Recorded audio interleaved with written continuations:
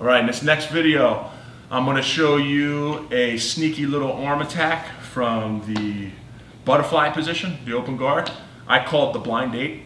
So, person is puts me inside here. So I call it the blind date because I'm pushing on his shoulder. But when I push on his shoulder, I don't want to keep tight.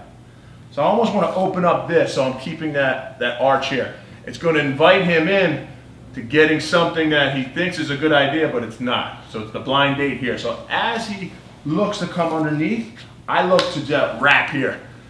Now, if you want to catch an armbar right away, hand goes right to the shoulder here, you can tap.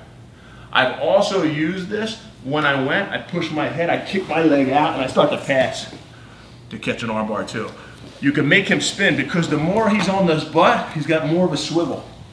So you can make that work for you as well. So once again, I'm here like this. My, yes. So I'm looking for, I almost, uh, I almost exaggerate my push because it makes him think he can pull me in. But what I'm doing is I want his arm to be a little bent too. So it's easy for me to just take this off and connect here, right to here. All right, you don't lose in this one because if he rips his arm out, rip your arm, I look for the pass. So once you do this a couple times, you get a good guy starts ripping out of stuff, you'll learn how to uh, go off of that move. Because as he rips back, all his weight goes his back, his legs are gonna be easy to pass.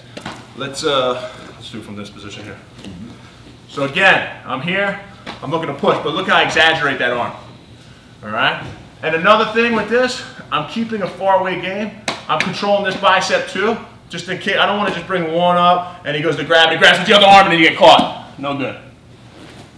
So I keep both hands on him. I just uh, hit here. So this hand can come from here to here to make that turn. If he straightens his arm, I have this. If he pulls it right out, I'm all ready for a pass. I can kick my leg out and start passing. All right? Let's do it again.